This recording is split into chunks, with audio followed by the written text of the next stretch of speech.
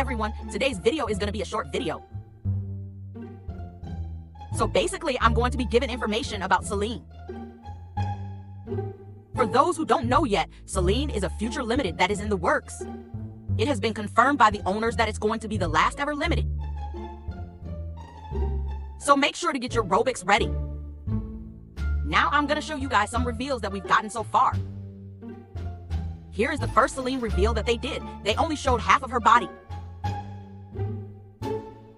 Here's a full body image of her. She looks gorgeous. I'm also sorry for the bad quality. And that's all the reveals that there is so far. For those who don't know much about Selene, this is what she looks like in the comics. Now I'm just gonna give some info about Selene. Selene Gallio is a supervillain appearing in American comic books published by Marvel Comics. Created by Chris Claremont and Sal Buscema, the character first appeared in New Mutants number 9. Selene is the oldest known human mutant, functionally immortal. Her millennia-long life is attributed to her ability to drain the life essence from other beings to extend her own existence indefinitely. Her name derives from the ancient lunar goddess Selene, daughter of the Titan Hyperion and Theia.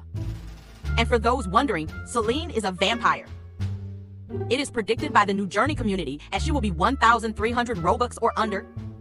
However, in my opinion, just prepare 1,400 Robux in case cuz I'm sure y'all wouldn't want to miss the last limited coming to New Journey. And for those wondering about her release date, it is predicted that she will come late January or early February. Just keep in mind that it does take around a month or more making limiteds. They are doing the best, so please be patient. Anyways, that's all the information I have for you guys right now. It'll make sure to update you guys if they announce anything new about Selene, so stay tuned.